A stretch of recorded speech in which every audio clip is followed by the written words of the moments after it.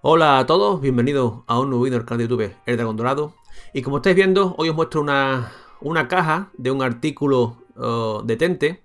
Tente es una marca española, concretamente es una marca de la compañía española Esin En la que junto con Scalestri, Madelman y otras muchas líneas eh, eh, Digamos que tuvo una de construcción muy parecida a Lego. Uh, De hecho tuvo uh, varios litigios con Lego por temas de patente y demás porque era muy parecido hasta el final de su día prácticamente. Eh, Tente es una, línea eh, de, construcción, como digo, de la marca de Zin, que durante toda la década de los 80 eh, pegó muy fuerte, sobre todo aquí en España. Sé que hubo también exportaciones en México, he visto cajas en México y he visto anuncios también en México. Supongo que los que sois de allí, de México, y veis el vídeo, pues sería interesante que aportarais vuestra información, si tenéis, sobre, sobre esta marca, sobre Tente sé que también hubo cajas en Estados Unidos, porque la he visto a veces en, venta por eBay en Estados Unidos. Quiero decir que es una, marca que durante cerca de 10-15 años pues tuvo mucha, mucha fuerza, sobre todo en el área eh, española, México, en, la que tuvo una competencia importante con, Lego. De hecho, yo recuerdo cuando era jovencito más la marca Tente que la marca Lego, mucho más. Ahora no, ahora ya Tente no existe y Lego es la que ha copado todo el mercado.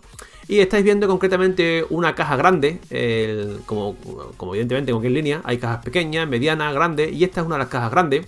Se llama Tente los gigantes del mar, habéis visto motivos de, la portada, de cómo era el interior. Y sobre todo era, estaba dedicado a los barcos mercantes. Había dos grandes cajas, de hecho yo las tuve, mi hermano Raúl tuvo esta, la, la de barcos mercantes, y yo tuve la de barcos militares, como no, a mí mi mamá el tema militar. Y tanto una como otra, una vez que, lo abría, habéis visto que la, la portada de la caja eh, vienen dispuestos todos los posibles barcos, que son lo que estáis viendo ahora concretamente. Y con, las fichas que venían dentro, no habéis visto las fichas porque estaban montados los barcos eh, dentro de la caja. Y se podían hacer 7 barcos, que son los 7 modelos que estáis viendo concretamente en estas imágenes, a la vez. la complicación de esta caja, de hecho esta caja hace tiempo ya que la tengo, eh, la he podido completar con una segunda caja idéntica que, también compré hace poco y las piezas que faltaban las he ido, las he ido añadiendo. Las piezas más, complicadas son esas piezas pequeñas que veis, sobre todo la bandera. La bandera es una de las más frágiles y de las que casi siempre se perdía. Los mástiles, eh, esos mástiles, por ejemplo, blanco que veis aquí, hay mástiles de colores blanco, amarillo, rojo en los barcos, en diferentes barcos. Esas piezas eh, eran de las que se perdían más fácilmente y encontrar una caja que esté al completo al 100% es bastante, pero bastante difícil.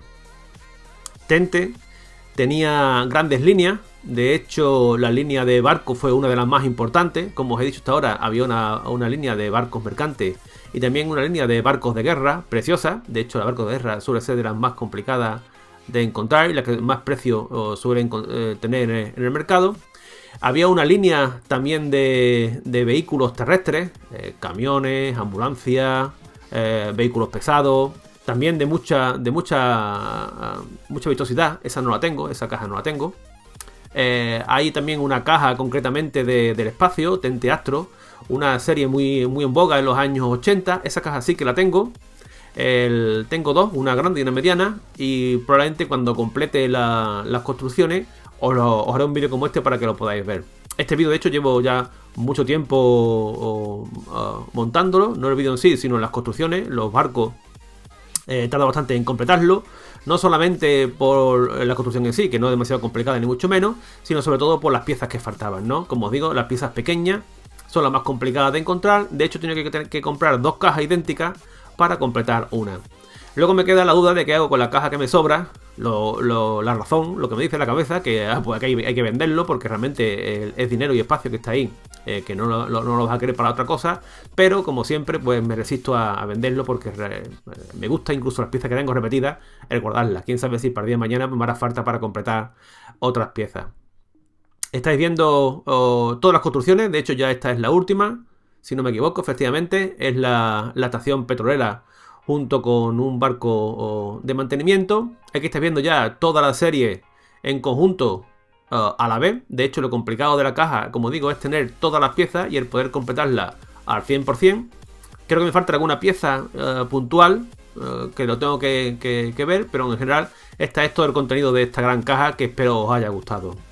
Bueno, pues como digo, espero que este vídeo os guste. Si así, dale un like, por favor, me ayudarás a difundirlo por tus redes sociales, Facebook, Twitter y demás.